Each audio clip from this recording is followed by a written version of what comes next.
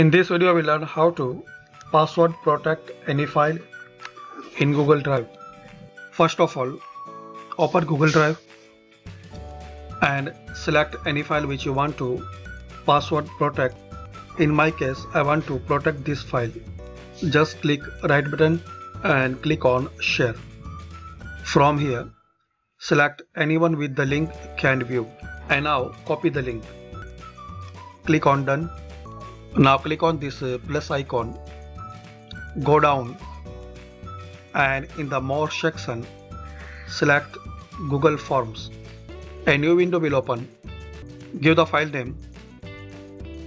Now click on this uh, plus icon. And from here select short answer. Now type any question in here. Required toggle into on position Click on this uh, three dot and select response validation.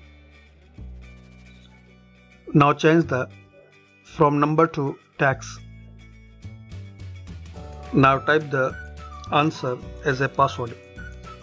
Now type error text. Now click on this uh, gear icon and go to presentation and paste your link in here.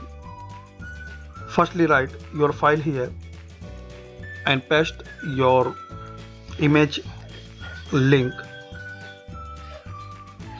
Make copy and paste here. Now just click on save. Now click on preview. So if anyone try to open this file, so this file required the password like anyone try to wrong password. So it will not success and it will see the message no try again. And if you will enter the correct password so it will be success